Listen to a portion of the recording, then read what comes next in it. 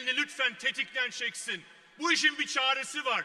Önümüzdeki seçimlerde oy vermek, HDP'ye oy vermek en iyi cevap savaşı isteyenlere.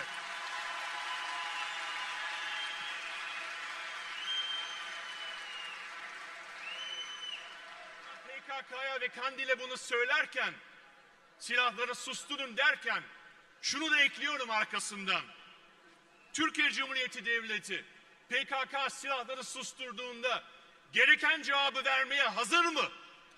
Yani Ankara'da Ankara'da artık köylere, kentlere eski isimlerini geri verecek mi?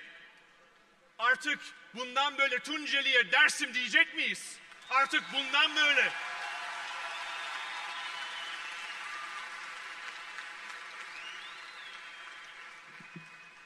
bir şey daha eklemek istiyorum. Sadece Kürt isimleri değil, Ermeni isimlerini de geri vermenin zamanı gelmiştir ve geçmiştir arkadaşlar. Ankara'ya soruyorum. Ana dilde eğitim gelecek mi? Bakın bizler burada Almanya'da yaşıyoruz.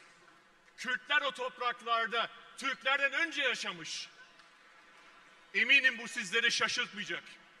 Biliyorsunuz biz 90 Yeşiller Partisi olarak bu seçimlerde de buradaki vatandaşlarımıza çağrıda bulunduk. Oylarınız Türkiye'de HDP'ye. Ama bir sebebimiz daha var. Bir sebebimiz daha var.